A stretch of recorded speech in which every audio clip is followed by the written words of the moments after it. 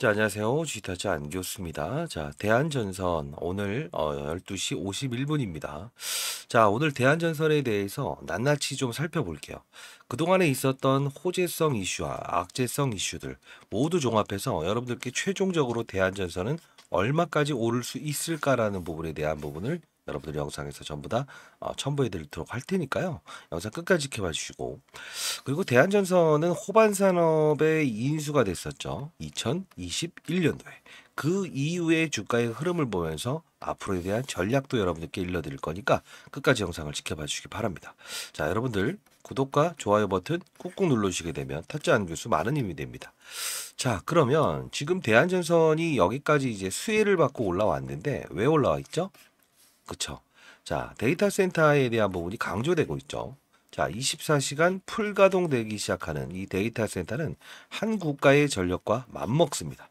자, 그러면 이 초고압 케이블은 필요하죠. 왜 그럴까요? 24시간 예, 이 전선을 통해서 계속 이제 전류를 흘려보내게 되면 결국은 이제 피로함을 느낄 수밖에 없어요. 그죠?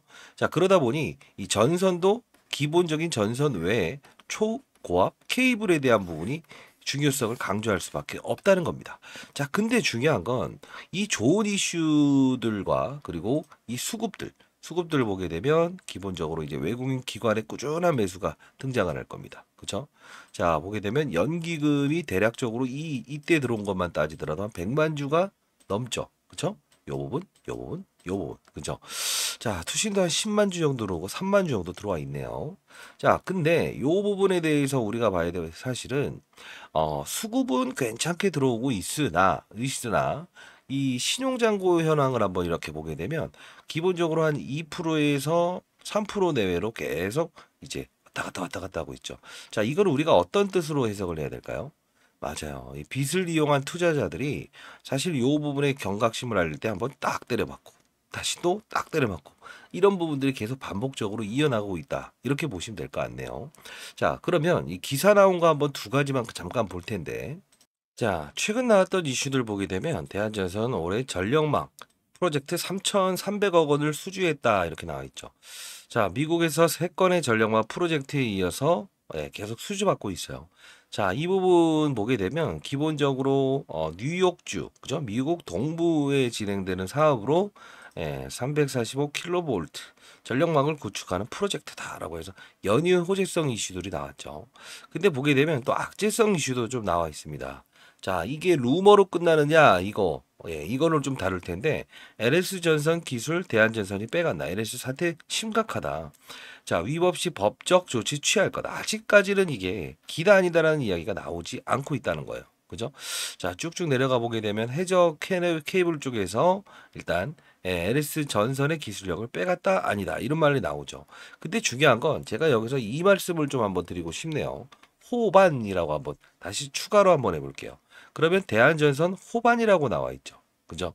자, 이분이죠. 자, 쭉 내려보면 호반이라는 이름의 대한전선 관련 LS전선 기술 유출 의혹 보도 해명을 했습니다. 자, 보통 이 대한전선이 어떤 이 도덕적 해이, 모럴 해저드 이런 부분이 생긴다고 한다면 보통은 대한전선이 해명을 해야 되는 게 맞겠죠. 근데 호반 산업이죠. 호반 산업에서 결국은 LS 전선 기술 유출에 대한 부분에 어 그런 우리는 어 특징적인 부분이 없다. 실질적으로 우리는 그대로 원래 있었던 기술력을 사용했고 실제로 기술을 도용한 바 없다라고 해서 이렇게 나와 있죠. 그럼 다시 돌아가서 제가 호반 이야기를 좀 해야 될 것 같은데 여러분들 혹시나 이 호반 산업, 호반 산업, 자 호반 산업이 바로 유상증자를 이 대한전선 두 번이나 단행했던 적이 있는 거 아세요? 최대 주주인 호반 산업이 자 그 뜻은 무엇이냐라고 한다면 자 볼게요. 자 이 부분 보게 되면 이 부분에서 2022년도에 유상증자를 단행을 했었어요. 자 그러면서 이렇게 주가의 급등을 이끌어냈었죠. 이번에도 역시나 유상증자를 단행을 했었고 주가의 급등을 이끌어냈습니다. 자, 그러면 이쪽과 이쪽에 대한 부분 둘 다 보게 되면 똑같은 흐름으로 주가의 상승을 이끌지 않았습니까? 그럼 뭔가 이면에 있는 사실들이 있지 않을까요? 오늘 영상에서는 아, 이와 같은 이야기 다 풀어드리겠습니다, 여러분들. 자, 구독과 좋아요 버튼 꾹꾹 눌러시게 되면 많은 힘이 되고요. 대한전선을 보유하신 분들은 자, 댓글로 한번 이렇게 달아보실래요? 유연. 우리 유연해집시다. 주가의 오름과 내림에 대한 부분이 시장 상황이든 어떤 루머든 아니면 호반 산업이 어떤 의도를 가진 부분이 있다고 한다면 그 이면에 있는 사실을 가지고 한번 우리 어, 최종적인 어, 수익률을 끌어올리는 절차는 어떨까요? 자, 현실적인 이야기를 이제부터 조금씩 들어갈 텐데, 어, 제가 운용사, 자산운용사에서 근무하면서 항상 시장을 다루는 방법은 여러 가지가 있었다 이겁니다. 항상 좋은 종목, 나쁜 종목 할 것 없이 산업의 사이클, 즉 AI 데이터 센터의 산업군이 움직인다고 한다면 분명히 결국은 맞아요. 주가는 오를 수밖에 없습니다. 라고 말했던 이때에 대한 영상, 유상증자 청약이 끝나기 전에 이 영상을 보면서 여러분들 최종적인 전략을 말씀드리도록 할게요. 자, 보도록 하겠습니다. 자, 제가 9,300원일 때 영상을 제작하면서 대한전설 오르긴 할 겁니다. 다만 최종적인 시나리오를 그대로 일러드렸는데 똑같은 흐름을 반복하고 있어요. 자, 그러다 보니 제가 대한전선을 여러분들 지금까지도 도와드리고 있는 거죠. 자, 여러분들 끝까지 영상을 지켜봐 주시기 바랍니다. 자, 보도록 할게요. 그래서 잠깐 다뤄보도록 할게요. 자, 일단 기업 구조 설명해 드리고 과거에 유상증자가 있었을 때 어떠한 형태를 보였는가 이 부분을 보면서 우리 한번 앞으로 추정해 봅시다. 자, 과거의 유상증자를 단행했을 때 어떠한 예, 흐름을 다루는가. 자, 이 부분 같이 좀 보도록 할게요. 자, 속도를 조금 올려 보겠습니다. 1.2배속입니다. 자, 증자 최종 발행 가격이 결정 났었죠. 그리고 나서 주가가 연일 빠집니다. 그죠? 근데 마지막으로 얼마에 됐냐? 정확히 나와요. 이거 뭐 특수관계 유상증자 참여하는 거 이번 호반 산업과 똑같은 거죠. 근데 중요한 건 얼마에 얼마에 됐느냐라고 해서 공시를 하잖아요. 여기 3월 16일. 그렇지 않나요? 자, 그러면 과거로 한번 들어가 봅시다. 자, 이 부분에서 2022년 3월 16일로 한번 향해 볼까요? 예. 네, 3월 16일, 17일로 한번 향해 봅시다. 주가는 과연 어떻게 이루어졌는지. 어떻죠? 요 부분인데 좀 땡겨서 볼까요? 요 부분이네. 그죠? 자, 결국은 빠져요. 빠져요. 그리고 16일. 16일이죠. 그죠? 그리고 나서 쭉 끌어올려요. 근데 지금하고 좀 비슷할 텐데 요 부분에서 12,400원. 요 부분 13,000원. 자, 그러면 이런 그림이 나온다라고 하면 결국은 오늘은 오르겠네요. 그리고 주가 조정 이렇게 이렇게 있고 나서 한 요 정도 부분까지 가겠네요. 만원 라운드 피겨를 넘을 수 없는 가능성이 크겠네요. 그리고 그리고 여기서 그래도 뭐 의미가 있어야겠죠. 이런 과정을 다시 뱉어낼 거예요. 이렇게 이렇게 뱉어내고 요 부분 요 부분 갖다가 다시 재차 한번 이런 급등이 나오겠네요. 근데 이유는 과거를 무시하면 절대 안 돼요. 그리고 두 번째는요. 자, 지... 자 이때 이제 스토리를 이야기해 드렸는데 똑같은 흐름을 보이지 않았습니까? 첫날에 대한 급등이 내려왔다가 이렇게 오를 겁니다라고 했어요. 자, 그리고 이때 여러분들 업종에 대한 부분도 이야기해 드렸어요. 이때 이제 말씀드렸던 업종들이 정말 많이 올랐을 거예요. 이건 LS 어, 뭐가 있을까요? 예, 이름을 바꿨는데 요 부분. 그리고 가온전선. 이게 가온전선이 제일 비교 설명하기에 편할 것 같아요. 이 동상이 주가는 일단 이렇게 한번 딱 쏘아버리죠. 그러면 못 올랐던 대한전선도 분명 해적 케이블 쪽 관련해서 노후화된 전선을 교체하고 과거에 이제 뭐 어딘가요? 어, 미국의 어느 도시였는데 거기에 미국에서 이제 전력난 그리고 한번 이렇게 그 전체적으로 이제 멈춰버린 적이 있었죠. 그죠? 그때 가장 중요시 여겼던 게 뭐예요? 예. 전력난이 있고 전부 다 셧다운 돼버렸잖아요. 그때 중요한 부분이 이런 케이블 관련주들 노후화된 걸 다 갈아야 된다. 자, 이때부터 여러분들께 소개시켜 드렸어요. 그죠? 그러면서 이제 액면병합이 있었던 이슈 여러분들께 전부 다 말씀드렸던 부분입니다. 자, 그러면 이제 오른다. 자, 변압기 관련주들도 오른다 이야기하면서 여러분들 전부 다 도와드렸는데, 자, 다시 돌아가서 우리는 한번 볼 필요가 있는 게, 제가 이 부분에서도 여러분들께 만 원대에서 다시 한번 급등했다가 내려올 겁니다. 그리고 이런 시나리오를 가지고 움직일 겁니다라고 했었죠. 자, 근데 여러분들에게 말씀드렸을 때 첫 번째적으로 이때 스토리를 정확히 인식을 해드리면서 자, 여러분들 모르겠습니다. 제가 이제 3월 14일 날 영상을 제작하면서 대한전선에 대한 부분을 매수로 대응하자라고 하긴 했습니다만 오랫동안 보유하신 분들은 상당 부분 필요함을 느꼈던 건 사실이죠. 자, 왜 그러냐면 대한전선이라는 종목은 실제로 제가 여기서 보여드린 것처럼 어, 과거에 맞아요. 호반산업. 호반산업은 두 번째에 증자를 했습니다. 그러다 보니 여러분들 아마 아, 오랫동안 보유하신 분들은 정말 힘든 경우를 많이 겪으셨을 거예요. 그래서 제가 기업은 좋지 못하지만 주, 중요한 건 이 대한전선을 뭐라고 하는 게 아니고 호반 산업을 제가 뭐라고 하는 겁니다. AI 데이터 수혜주. 그죠? 데이터 센터의 수혜주 확산으로 해서 전선 관련주들은 순환매가 나올 거다. 매도 타점은 향후 라이브 또는 문자를 통해서 보내드릴게요. 라고 해서 이렇게 말씀드렸죠. 실제로 3월 14일이니 제가 영상을 찍었을 때 이때부터 정확한 시나리오를 이어가고 있지 않습니까? 그죠? 자, 그러면서 제가 여러분들께, 아, 라이브 채널. 여러분들 혹시나 라이브 채널에 실시간으로 입장은 가능하신데요. 자, 저 개인적인 번호를 좀 남겨보겠습니다. 자, 010-4822-8706으로 변동성이 상당히 커졌죠. 자, 이 부분으로 대한, 대한이라고 두 글자 보내주시게 되면 제가 라이브 채널 링크 주소 좀 보내드리도록 할게요. 여러분들 반드시 참여하시면 아마도 이 변동성에 대비할 수 있으실 겁니다. 자, 그러면 이 부분에서 좀 라이브를 한 번 더 진행을 했었죠. 자, 순간적으로 아무리 찍으려고 해도 이 변동성에 대한 부분을 여러분들 시, 순식간에 보는 영상을 참고할 수가 없잖아요. 그게 좀 아쉽더라고요. 자, 6월 13일자 날짜에 이 급락 사건을 통해서 여러분들 한 번 더 도와드렸는데 자, 역시나 14,170원. 여러분들이 정말 힘들다, 힘들다라고 이제 어, 문자 너무 많이 보내주셔 갖고 제가 그 부분 때문에 이제 어, 이제 라이브 채널 이제 여러분들 어, 진행하면서 순간적으로 이 영상도 한번 올려드렸어요. 위기 순간 때만 여러분들 꼭 찾으시더라고요. 그러지 마시고 라이브 채널 반드시 들어오시기 바랍니다. 자, 같이 한번 잠깐 볼게요. 이때입니다. 자, 대한전선 지금 급락 나오고 있죠. 자, 기회가 분명히 도살이니까 기다리시라. 기다리시라 했습니다. 근데 여러분들이 이런 반등 한 분도 번 말씀드리긴 했습니다만 결국은 접근하는 타이밍 아니라고 했어요. 다시 한 번 말씀드립니다. 유상증자 있을 때 이때 시, 이 시나리오가 나올 거다. 여러분들께 미리 일러드렸습니다. 그리고 어차피 과거의 유상증자 이 부분에서 했던 거와 똑같이 움직일 겁니다. 라고 말씀드렸어요. 그죠? 이렇게, 이렇게. 그죠? 지금도 이렇게 되고 있지 않습니까? 그죠? 자, 여러분들 유상증자를 단행했었고 역시나 유상증자를 단행했었고 그리고 여러분들 중에서 이 유상증자를 참여해야 돼요 말아야 돼요 이런 이야기 그리고 이 부분을 어떻게 해야 돼요 실권주 맞아요. 이때 이런 여러분들 어, 좀 문의가 정말 많으셨죠. 자, 여기서 제가 이제 사야 된다고 합니다. 오늘은요 분할적으로 조금은 받아내시되 지금 손실이 정말 확대한 부분은 다이렉트로 올라갈 수 없어요. 지금 검찰 조사 이야기 나오고 있죠. 자, 가장 중요한 건 이들의 시나리오를 정확히 알아야 됩니다. 그동안 제 영상을 보셨던 분들은 알 겁니다. 한 발의 총알로 결국은 맞아요.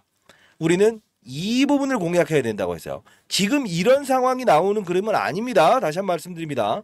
자, 여러분들 대한전선은요. 과거의 유상증자에서 자, 이때 한 번 더 일러드리면서 실질적으로 지금 보게 되면 급락 나왔을 때죠. 그죠? 근데 여러분들께는 제가 순간적으로 보내드릴 수 있었어요. 자, 그쵸? 6월 13일 대한전선 14,700원 일단 단발적인 상승 나온다. 며칠 보유 관점이다. 다만 향후 반드시 큰 하락이 있을 수 있다. 반드시 라이브 채널 들어오세요라고 해서 보내드렸습니다. 자, 여러분들 아무리 제가 이제 여러분들에게 순간적으로 영상을 찍어드리려고 해도 시간적인 한계가 분명 있어요. 자, 이 부분은 여러분들 문자를 통해서 제가 보내드릴 테니까요. 반드시 여러분들 다음 주 변동성 큰 그 시장은 피해 가시기 바랍니다. 자, 대한이라고 해서 보내주시게 되면 채널 링크 주소 여러분들 보내드리도록 할게요. 문자를 통해서도 문자를 받기를 원하시는 분들은 대한 그리고 문자라고 해서 보내주세요. 그러면 제가 문자 서비스로 여러분들 큰 변동성이 있을 때는 라이브 채널 들어오시지 못하시는 분들, 스마트폰을 이용할 수 없는 분들한테도 제가 보내드리도록 하겠습니다. 자, 이제 상당 부분 요 부분에 올라왔고요. 최근 들어서 근데 이 전선 관련주들이 다시 이제 호황기로 진입을 하려고 하고 있어요. 자, 이런 엘스 관련주부터 시작해서 일진전기 이런 관련주들이 좀 오르고 있죠. 근데 이제 최근 들어서 어, 변압기 관련된 종목들의 흐름이 상당 부분 지금 어, 많이 오르고 있어요. 자, 한번 보게 되면 이야기를 해드리는 이유는 제룡산업, 제룡전기, 세명전기, 그리고 뭐 LS 일렉트로닉, 현대 일렉트로닉, 그죠? 이런 관련주들의 흐름이 상당 부분 강하게 지금 오르고 있지 않습니까? 자, 그러면 우리는 이 전선 관련주인 대한전선을 보유했을 때 물론 여러분들 손실 중에 있는 분들 또는 수익을 내시는 분들 그래도 라이브 채널 들어오십시오. 모두 수익권으로 바꿀 수 있게끔 제가 도와드릴 텐데 어, 대이 AI 데이터 센터의 수혜군 중에서 정말 많이 오를 수 있는 종목을 조금 찾아낼 수 있었어요. 자, 제가 나중에 이 차트를 보여드리면서 자, 두 종목을 준비했는데요. 이 차를 차트를 들어드리면서 와 정말 더, 더 많이 올랐네요 라는 이야기를 하지 않았으면 좋겠습니다. 자 이 부분은요 정말 매집이 세게 들어온 종목이더라고요. 예, 제가 장담합니다. 다음 주는 무조건 초급등 나올 겁니다. 대한 다 대한전설을 보유하신 분들은 포트폴리오를 조금은 구성을 했으면 좋겠어요. 그리고 대한전선 대응 전략 자료집도 이따 보여드릴 건데 요 부분도 여러분들 보내드릴게요. 그리고 가장 중요한 부분이죠. 자, 이 자료 여러분들께 보내드리고 갈게요. 대한전선 과거와 같은 유상증자 시나리오 그리고 M&A 종목 첨부 이게 어떤 소린가요? 라고 이제 얘기하신 분이 있는데 이 과거에도 한진칼이라는 기업의 지분 투자 활동을 통해서 주가의 급등을 이끌어냈고요. 그리고 한진칼은 어떻게 됐습니까? 그때 급등 나왔어요. 그죠?